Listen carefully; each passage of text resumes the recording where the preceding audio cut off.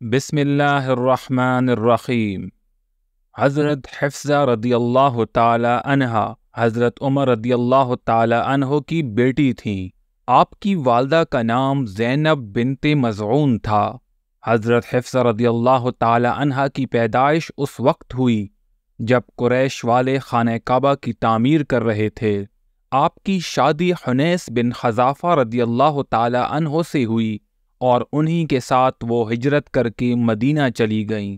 गज़व बदर में हनैस रदी अल्लाह तहो ज़ख्मी हुए थे और उन्हीं ज़ख्मों की वजह से उन्होंने शहादत पाई। हज़रत हफ्सा रदी अल्लाह तहा की हनैस से कोई औलाद नहीं थी। जब हज़रत हफ्सा रदी अल्लाह तहा बेवा हो गईं तो हज़रत उमर रदी अल्लाह तहो को उनके निकाह की फ़िक्र हुई। इत्तेफाक से उस ज़माने में हज़रत रुकैया रज़ी अल्लाह तहा का इंतकाल हो चुका था। इसलिए हज़रत उमर रदी अल्लाह तहों ने हज़रत उस्मान रदी अल्लाह तहों से उनके निकाह की ख्वाहिश की। हज़रत उस्मान रदी अल्लाह तहों ने फरमाया, मैं इस बारे में गौर करूँगा। हज़रत उमर रदी अल्लाह तहों ने अबू बकर रदी अल्लाह तहों से भी इसका ज़िक्र किया, लेकिन वो खामोश रहे। जिसकी वजह से हज़रत उमर रदी अल्लाह तहों को बहुत रंज हुआ। इसके बाद मोहम्मद सल्लल्लाहु अलैहि वसल्लम ने हज़रत हफ्सा रदी अल्लाह तहा से निकाह की ख्वाहिश ज़ाहिर की। जब निकाह हो गया तो हज़रत अबू बकर रदी अल्लाह तहों ने हज़रत उमर रदी अल्लाह तहों से फरमाया, जब तुमने मुझसे हज़रत हफ्सा रदी अल्लाह तहा से निकाह की दरख्वास्त की और मैं खामोश रहा तो तुमको बुरा लगा, लेकिन मेरे इनकार की वजह थी, क्योंकि आप सल्लल्लाहु अलैहि वसल्लम ने हज़रत हिफ्सा रदी अल्लाह तहा का ज़िक्र किया था। मैं आप सल्लल्लाहु अलैहि वसल्लम का रास कैसे फाश कर सकता था?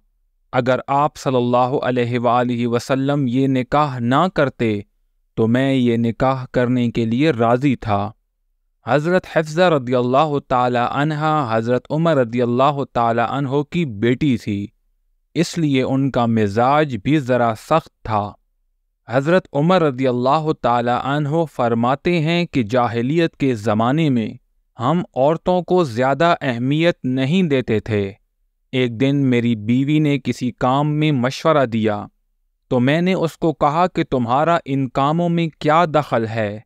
वो कहने लगी कि तुम तो मेरी बात को भी पसंद नहीं करते, लेकिन तुम्हारी बेटी हफ्जा रदी अल्लाह तहा तो रसूलुल्लाह सल्लल्लाहु अलैहि वसल्लम को भी जवाब देती है। हज़रत उमर रदी अल्लाह तह फरमाते हैं कि मैं उठा और हफ्जा के पास आया। मैंने कहा, बेटी, क्या तुम आप सल्लल्लाहु अलैहि वसल्लम को जवाब देती हो? वो कहने लगी हाँ हम ऐसा ही करते हैं। मैंने उसे खबरदार किया कि अल्लाह ताला के अजाब से डरो।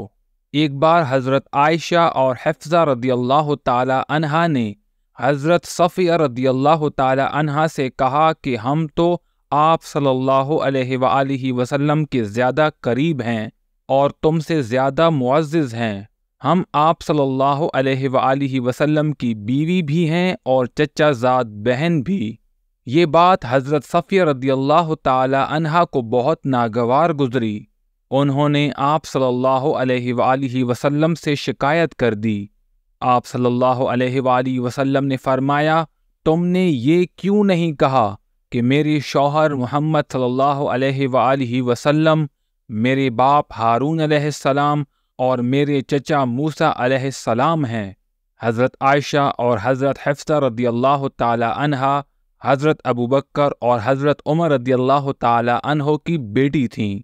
उम्मीद है आज की वीडियो आप लोगों को पसंद आई होगी। मज़ीद वीडियोस के लिए मेरे चैनल को सब्सक्राइब करें। असलकम वरहमल वर्का